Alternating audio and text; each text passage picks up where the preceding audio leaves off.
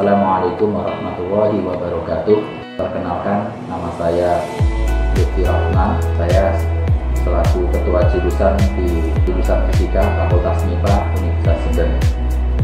Saya menjabat sejak tahun 2017, insya Allah berakhir sampai dengan 2021. Uh, di sini saya juga sebagai dosen yang mengajar beberapa mata kuliah antara lain adalah fisika statistik, fisika komputasi, kemudian fisika zat padat dan beberapa mata kuliah lain yang relevan dengan uh, bidang saya. Bidang saya adalah uh, komputasi material, lebih spesifik ke dalam material magnetik menggunakan beberapa software seperti software mikromagnetik. Kemudian sebagai ketua jurusan saya membawai beberapa laboratorium yang ada di jurusan fisika yaitu laboratorium fisika dasar,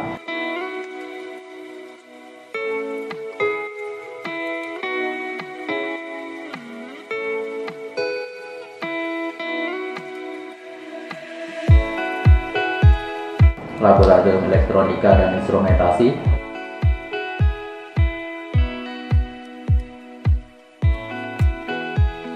Assalamualaikum warahmatullahi wabarakatuh. Perkenalkan nama saya Edi Sutrisno. Saya di sini sebagai laporan di lab instrumentasi dan elektronika. Lab di sini rutinitas biasa dipakai untuk praktikum serta penelitian untuk mahasiswa S1, S2, dan dosen. Untuk kegiatan praktikum di lab elektronika dan instrumentasi untuk hari pertama biasanya kita mengadakan asistensi. Dan setelah itu baru lanjut ke pengelompokan yang berdasarkan dengan persetujuan bersama. Dan untuk praktikumnya dilaksanakan dua hari selama seminggu dikalikan dengan beberapa modul untuk kegiatan penelitian dan praktikum mahasiswa maupun dosen tetap mengikuti prosedur dari lab. Dan jika ada kendala bisa langsung menghubungi teknisi atau ketua lab.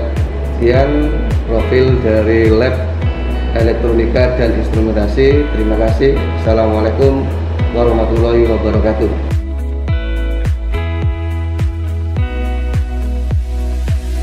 Laboratorium Fisika Modern.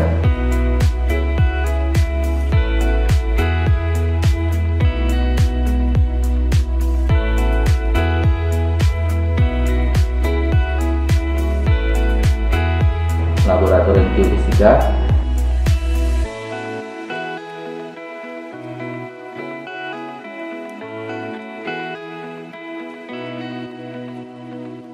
Laboratorium Biofisika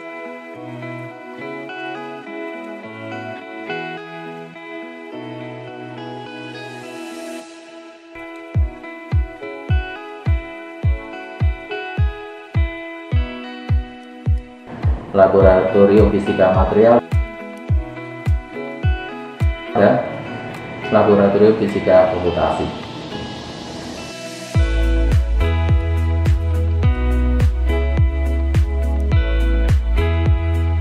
Uh, untuk bidang ilmu yang berkembang di jurusan fisika ini itu ada namanya uh, bidang KPI Fisika Komputasi yang kedua bidang KPI elektronika dan instrumentasi, yang ketiga bidang geofisika, yang keempat bidang fisika material, dan yang kelima biofisika. Namun sejak dua tahun lalu dikembangkan namanya kelompok riset sehingga dosen-dosen yang ada di jurusan fisika itu harus tergabung ke dalam kelompok riset. Yang antara lain yaitu kelompok riset material komputasi terapan, kelompok kelompok riset material maju, kelompok riset instrumentasi dan komputasi optoelektronik, kelompok riset biofisika, kelompok riset geofisika. Alhamdulillah akreditasi dari jurusan fisika yaitu prodi fisika S1 ini terakreditasi dengan predikat A itu sejak tahun 2017 ya yang akan berlaku hingga 6 Juni 2022 kemungkinan besar kita akan kembangkan ya, sehingga akreditasinya akan menjadi akreditasi unggul atau akreditasi internasional. Karena sekarang sudah mulai dipersiapkan untuk akreditasi internasional nah, yang di bawah ASIN ya, ASIIN kemudian untuk Senavisnya Senavis adalah sebenarnya uh, acara seminar nasional fisika tahunan ya, per per dua tahunan ya rencananya. Jadi Senavis satu itu sejak tahun 2015 kemudian 2017 ada Senavis 2 nah sekarang karena ada COVID-19 ini maka uh, mundur sehingga kita acaranya menjadi acara uh, Senavis 3 itu di tahun 2020 dan acaranya akan berlangsung secara online. Ya seminar nasional fisika tapi berlangsung secara online atau daring. Untuk Senavis 3 ini sangat istimewa karena uh, uh, panitianya itu adalah mahasiswa. Jadi banyak mahasiswa yang tergabung di kepanitiaan langsung karena sudah berpengalaman di Senavis 1 dan Senavis 2 yang semula dikerjakan oleh Bapak Ibu dosen yang sekarang dikerjakan oleh mahasiswa.